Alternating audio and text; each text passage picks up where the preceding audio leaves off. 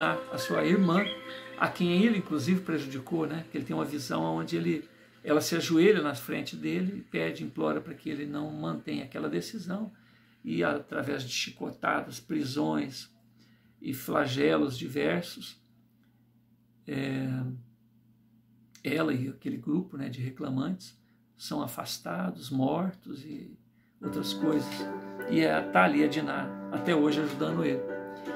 É é principal pessoa que ajuda ele. Então ele não tem do que reclamar. Em outro momento ele se vê como um homem zarrão, um cara forte, uma outra encarnação, também fazendo coisas dignas de repreensões da própria consciência e até da coletividade, mas que ninguém viu ou que ninguém podia na época tomar uma providência, mas está aí a providência divina oferecendo para ele o trabalho através da mediunidade de uma maneira em que, apesar de toda a inteligência dele, porque ele era um legislador romano, né, ele sempre foi um cara forte, hoje ele está na posição de um indivíduo consciente do próprio compromisso, inclusive consciente do que fez em relação a quem fez, que representa ali a tia dele, que ainda está no meio do caminho, a gente vê a história dela, do irmão dele que odeia ele, mas não sabe por quê, o próprio pai, a irmã, coitada, que sofreu na mão dele, mas que está ali ajudando. Então o Divaldo, só para fazer um paralelo, Divaldo conta, nós estamos no setembro amarelo, e ele, faz, ele conta um, um caso que aconteceu com ele há 20, 30 anos, quando aparece uma senhora, num dos atendimentos fraternais dele lá em Salvador, e essa senhora diz que ela é psicóloga, psiquiatra, alguém que é, é ateia, diz a corrente filosófica que, ele, que ela segue, mas que ela precisaria ouvir da boca do Divaldo se o filho dela estava vivo. E aí o Divaldo diz que que sim, porque naquele momento ele vê o menino, vê a, a mãe da moça e diz que é, ele, ele está amparado pela mãe. Diante daquela situação, ela retorna para casa e na outra semana retorna com o marido, também psicólogo, ateu, e que num determinado momento do diálogo até segura de volta pela camisa, porque aquilo impacta ele tanto que né, ele fala: Eu te respeito, mas o senhor não pode pegar na minha camisa desse jeito. Eu entendo a situação do senhor. O que, que impactou esse senhor? Porque naquele outro atendimento, onde o marido está presente, zombando de Divaldo, dizendo que ele era um charlatão, ele revela para aquele senhor, para aquele casal, né, porque até então ele não contou esses detalhes para a mãe do garoto, dizendo que no primeiro momento, quando a, a esposa dele viu, ele viu o menino amparado e viu o menino chamando a mãe de assassina. E ali naquele momento o menino estava novamente com a, a, a avó né, materna e chamando ambos de assassinos. Vocês são assassinos. E aí o Divaldo conta os detalhes. Ele diz que no dia X o menino se suicidou com um tiro né, na têmpora direita, uma arma que estava guardada ao lado da cama, do lado direito do, da, do, no quarto do pai. E os dois ateus, cada um de uma corrente filosófica, é, são ferrenhos. E o filho, com menor idade, o único filho do casal, pede para eles a permissão para que ele se matricule num colégio de sacerdócio, porque ele queria ser padre. Ele sempre foi fissurado pela, pela carreira sacerdotal e naquele momento, naqueles dias, eles estavam assistindo a, a, as atividades religiosas provenientes de um, momento, de uma data própria, né, que lembrava a, a cristandade, ou a, aquelas, aqueles momentos que Jesus passou. Então ele ficou mais comovido ainda e pediu. Aí o pai se recusou veementemente, dizendo que aquilo seria uma vergonha para eles, porque se Deus não existe, se a imortalidade não existe, o filho deles é, fosse matriculado em um, em um colégio, religioso para ser um, um, um ícone né, da, da, da, daquela, daquela maneira de expor a espiritualidade, que era, era o catolicismo. isso seria uma, um atestado de fracasso para eles, eles seriam humilhados perante as pessoas que eles atendem nos seus consultórios. E o menino fala: Ô pai, eu vou te fazer uma pergunta. É certeza que morreu, acabou? É. Então tá, ele vai para o quarto, eles escutam um estampido e de repente está lá o menino morto, todo ensanguentado. A mãe fica traumatizada e o pai é como se não tivesse perdido ninguém. Ele se bloqueia ou ficou indiferente à atitude do, do filho. Aparentemente deve ter se bloqueado, porque não é possível né, que, que ele ficou indiferente. Porque... Mas diante daquela revelação, o, o pai do rapaz segura o Divaldo pela camisa, como e chama ele de charlatão, como é que ele ficou sabendo daquilo, quem que contou aquilo. Eu falei, bom, esses detalhes provavelmente o senhor não contou nem a própria esposa, né? Então a única pessoa que poderia ter me contado é o próprio garoto. Como que eu iria saber? Eu acredito que até a esposa do senhor não sabe desses detalhes. Eu sei porque o menino está me contando.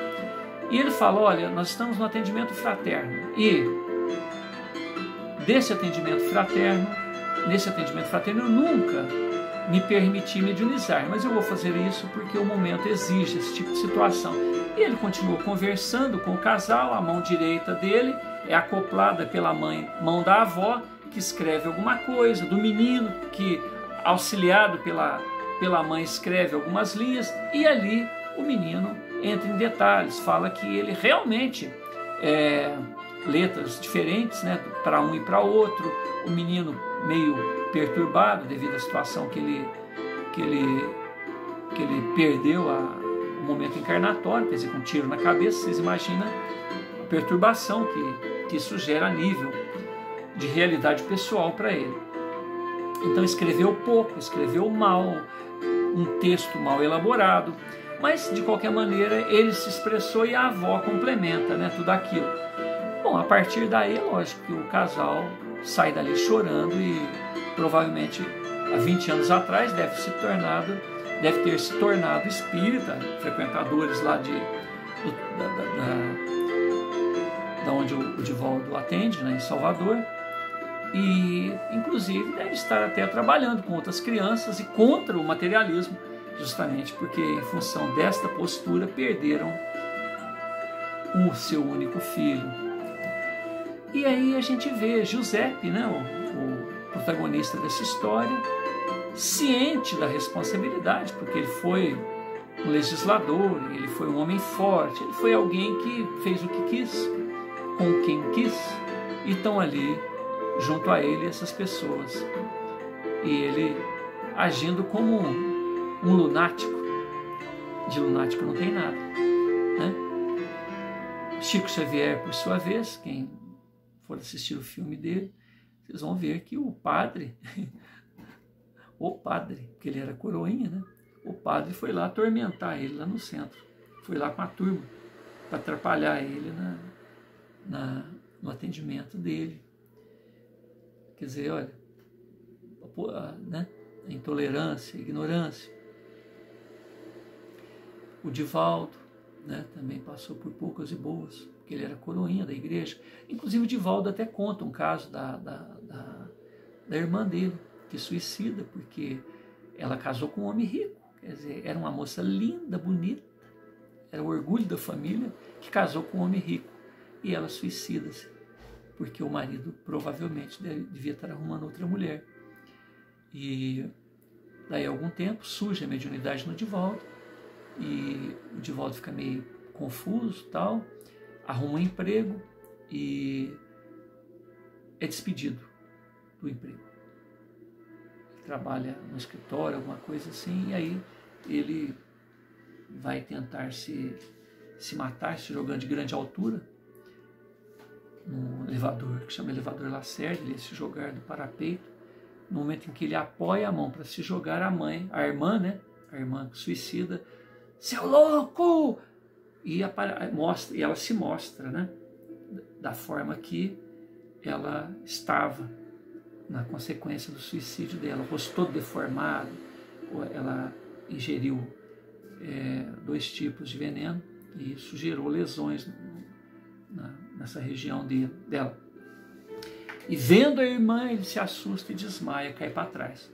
Aí depois ele continua contando a história da irmã, é, a mãe também desencarna e, e, e mostra e, e, a mãe ampara a menina. Um dia ele avisa que, que a, que, a, filha vai reencarnar e ele conta que é, ela nasce no lar, né, no, no ambiente de uma senhora que catava papelão e que durante meses pegava papelão, fazia um caldo e dava aquela aguinha para a criança. Então ela, esquelética, criança, naquela situação, ele acolhe e aí a mãe, né, já havia avisado que a, que a, que a, filha, que a irmã dele haveria de reencarnar, pediu para que, que ele não interferisse no karma, o que, que ele faz? Mais para frente, corrige, né, porque ela nasce com lábio liporino, ele manda fazer a, correção estética e até para facilidade né, de conversar, de se alimentar. E mais para frente, essa menina tem um transe, assim, ela tá lá brincando, de repente chega perto de Ô Didi, Didi, né? Didi, Didi é o nome que ela chamava o Divaldo quando os dois juntos. Eu falei, mas Didi, por que Didi, né? Falei, ah, é só eu. Aí fala o nome. Eu falei, não, mas curiosamente a mãe, a mãe catadora de papelão também vai trabalhar lá na Mansão do Caminho e deu o nome dela antes. Tá? Então a irmã dele desencarnada tinha o nome nessa nova encarnação que a mãe, a catadora de papelão, lá deu o nome. Olha aqui, né, as coincidências. E a, essa senhora, catadora de papelão, fala da sua experiência com a mãe do Divaldo, mãe dessa moça também que suicidou, falando que eu estou te emprestando a minha, a minha filha. Estou te emprestando para você cuidar bem dela, tal. Então, até isso, essa, essa informação o Divaldo tem da senhora catadora de papelão, que uma senhora apareceu dizendo que estava emprestando a criança. Aí essa criança desencarna e algum tempo depois, desencarna sim, moça, cinco anos, seis anos aproximado, depois de dar esse testemunho para o Divaldo, né, dizendo que ela era Nair, né, era Nair nessa encarnação e Nair suicida, né, é, e aí o Divaldo fica comovido, né, ele fala, poxa, como é, né, a gente com tantos anos trabalhando nessa área e diante de um testemunho pessoal, de um impacto desse, uma coisa tão íntima, tão forte na minha vida, olha o quanto né, que reforça. Então é por isso que eu falo para vocês que o Espiritismo e os espíritos e os médios têm que impactar. Né? Segundo o meu pai, o Edson Flauzino Senna, que escreveu esse livro, tem uma poesia que ele fala que os espíritas são danadinhos, ou seja, são sabem, né? são incisos claros, têm precisão cirúrgica naquilo que diz, naquilo que faz, e que o maior desserviço que eles podem fazer, e que no mais das vezes fazem, em relação à própria vida. Nem sempre vivem aquilo que sabem que, o que, que deveria ser feito. Né? E isso às vezes cria um impacto nas outras pessoas que falam, poxa, o cara sabe disso e ainda faz isso. Sim, sim, mas é responsabilidade dele, é um direito dele.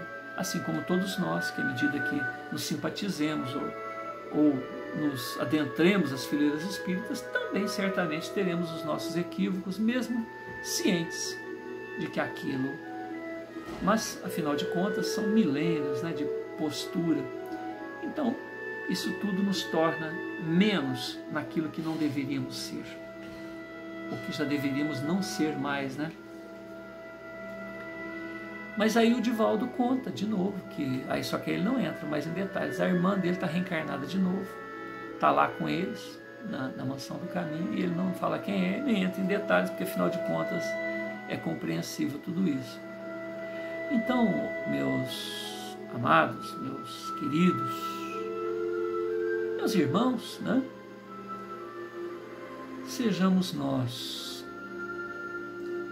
pessoas que saibam, mais do que creiam, que saibam, que tenham oportunidade de se impactar. Chico Xavier era médium de materialização. Divaldo conta um, um momento em que a irmã Sheila se materializa utilizando o ectoplasma do Chico e faz uma cirurgia na garganta dele. ele estava com tipo um, um, início, né? Não sei se de câncer, sei lá o que quer, de um tumor na, na garganta. E a Sheila, que é uma enfermeira, se materializa na frente dele, conversa de uma maneira meio arrastada, que ela tem origem alemã, e pede para ele abrir os olhos, pede para ele abrir a boca, ele toma de uma canetinha, ela toma de uma canetinha, tipo um laser hoje, e joga na garganta dele duas vezes, que provoca dor. Tudo isso para mostrar para o Divaldo que aquilo estava acontecendo. E nunca mais ele tem problema na garganta. Outra coisa que o Divaldo faz, fala, minha irmã, você me perdoa, você está me curando a garganta, você está aqui na presença de todos esses outros irmãos, mas você sabe como é que funciona a mente da gente, eu vou achar que eu alucinei, eu vou achar, eu vou achar que, eu, que eu sonhei, eu vou achar que isso aconteceu, não sei, é uma incoerência, mas a mente da gente me dê alguma coisa para eu lembrar. Ela materializa algumas flores que ele sempre gostou, flores do Alpe Suíço e flores dos Alpes, né? não sei se é da Suíça, mas eu imagino que seja, que ele conhecia, que ele gostaria né? de, de, de presenciar, mas são flores que vivem só naquela região e aquelas pétalas caem e ele guarda até hoje essas pétalas. E aí a Sheila, né? Fala para ele: Mais alguma coisa, Divaldo? Mais alguma coisa, Divaldas? É, mais ou menos isso que ela fala. Eu falo: Eu gostaria de pedir para você. Ah, como eu tirar um pedacinho do seu tecido para que eu e que esse tecido, tecido fique comigo, continue materializado, para que eu possa apresentar para pesquisadores, para outros, e ela permite né? E ele rasga um pedaço do tecido e falou: Eu bem que tinha ter rasgado até um pedacinho mais, né, maior para. Mas rasguei um pedacinho. E tá lá com ele as, as flores, um pedacinho do tecido e a cura da garganta dele, com dor, para que ele saiba que não foi né, nada por acaso. E ali Chico né, depois entra em mais detalhes, explica mais coisas para ele na hora que ele volta à lucidez, né? porque ele está em estado de transe, fornecendo ectoplasma para que a, a, a Sheila se materialize. E assim, meus irmãos, se a gente buscar na, na, buscar na literatura, Ernesto Bozano, Camille Flammarion, Leon Denis, e tantos outros contemporâneos de Kardec, nós não nos arrependeremos. Alexandre Ksakoff, um russo, todos eles trazendo à exaustão casos e mais casos, para que os apontamentos de Kardec não ficassem isolados. E cada um deles montaram ciências paralelas, né? psicotrônica, parapsicologia, metapsíquica, para explicarem aquilo que foram os resultados das suas experimentações, das suas constatações. Então, o próprio Kardec lançou aí a, a, revista Espírita, que ficou mais de 13 anos circulando, enquanto a Amélie Gabrielle Boudet, a esposa de Kardec, que era mais velha que ele, 10 anos, mas que durou Kardec desencarna, né? É, 13 anos depois de começar o seu trabalho e a Amélia Gabriela Budê ainda dura mais 10 anos depois disso, continuando o seu trabalho, continua a revista espírita, continua né, trabalhando na missão a qual ela e o Rivail se empenharam. E na revista espírita, que é o caso, existe um legado, um legado fantástico de casos e mais casos, porque o Kardec pegava alguns casos, publicava na revista para que as pessoas, os espíritas do mundo, que adquiriam essas revistas, que era maneira, né, igual a internet hoje, uma maneira de, de trocar experiências, soubesse daquilo que acontecia com ele também mandassem essas experiências. Né? Então, que Jesus nos abençoe a todos, permita que nós possamos ser os vivenciais desta nova era, porque estamos vivendo momentos difíceis no mundo, momentos que exigem reflexão, exigem autovaloração, consciência do que somos, de bom e de mal, para que nós possamos atender aqueles outros que têm esses embates íntimos e que se desesperam, que, junto aos quais necessariamente precisamos externar fraternidade, compreensão, não julgamentos, simplesmente estendermos parcela daquilo que já sabemos. Senhor Jesus, multiplica as nossas possibilidades. Permita que o impactar. Hoje em dia, segundo Chico, o impactar é mais emocional do que físico, porque o impactar físico muitas das vezes nos leva a teorias diversas, mas aquilo que alcança a nossa compreensão, o nosso sentimento, a nossa vivência, germina, se multiplica, se expande e permite que nós, a partir dali, tenhamos uma nova postura mais serena, mais segura, mais consciente no que fazermos de nós mesmos em direção a esse amor permanente, a esse amor maior, esse amor dadivoso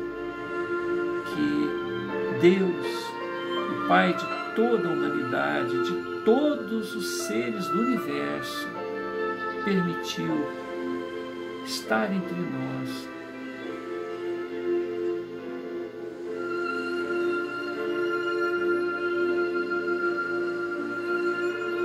E nessas vibrações, Senhor, essas vibrações, acendermos